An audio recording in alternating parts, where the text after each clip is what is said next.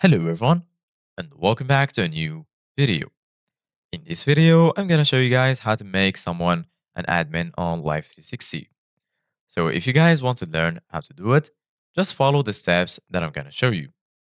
As you can see guys, I'm right now in Life 360 and this is how the homepage looks like. So right here in the bottom, you're gonna find all of the sections. There's location, driving, safety, and also membership. If you go to the locations uh, section, here in the top of your screen, you're gonna find your current circle. If you click on it right here, you're gonna find a list that includes all of your circles. And under it, you're gonna find two options, create a circle and also join a circle. So right now, let's say you want to make someone in your circle an admin.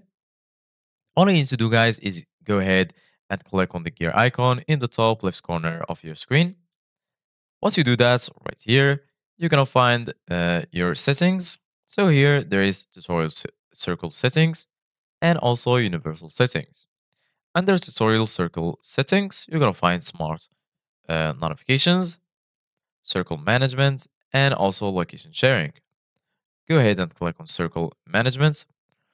And then right here, uh, we're gonna find uh, under circle management, my role, change admin status, add circle members, set bubbles access, and lastly, leave circle.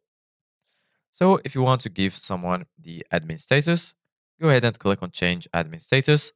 And then right here, you're gonna find the list of people that are in your circle. As you can see, guys, in my case, I don't have anyone in uh, my circle. So if you find uh, the person that you want to give him the admin status, just click on his name and then you're going to be able to give him the admin status.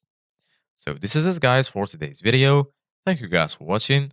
See you guys in the next video.